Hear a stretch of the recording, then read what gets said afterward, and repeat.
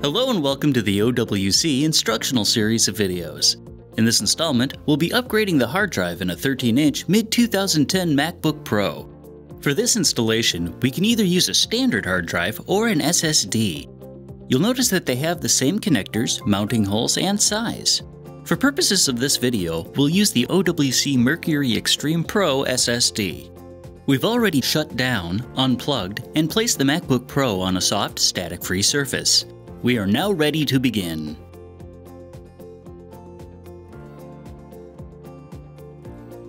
The first step is to close up the MacBook Pro and flip it over. On the bottom, you'll find 10 Phillips screws. The three in the upper right are longer than the others, so remove those first.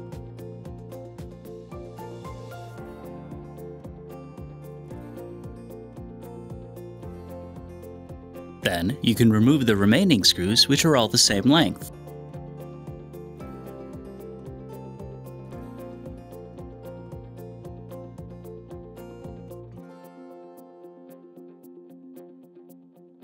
Once all the screws have been removed, you can lift off the bottom cover. The hard drive is located here. Loosen these two screws, then lift the retaining bar free.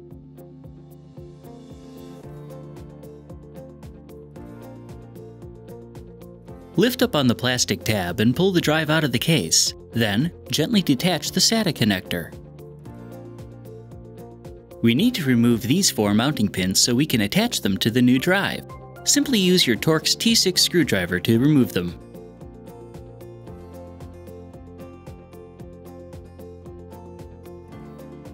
Finally, you can gently peel off the plastic tab and set the drive aside.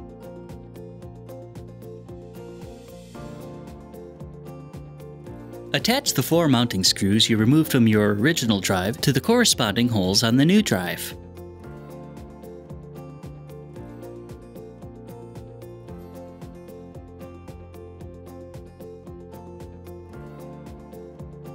Next, hold the drive so that the SATA connection is pointing up. Then, rotate it 90 degrees counterclockwise and attach the plastic tab to this side. There should be enough residual adhesive to allow it to stick. Attach the SATA connector on the new drive to the ribbon cable from the MacBook Pro. Then, insert the two mounting pins nearest you into the MacBook Pro's case and lay the drive flat. Replace the retaining bar and tighten it into place.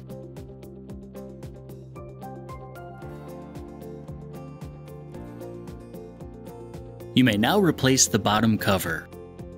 The three longest screws go into the top right three holes. The remaining seven screws are all the same size.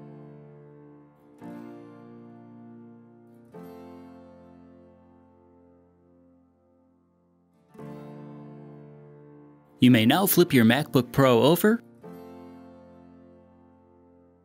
open it up, and turn it on.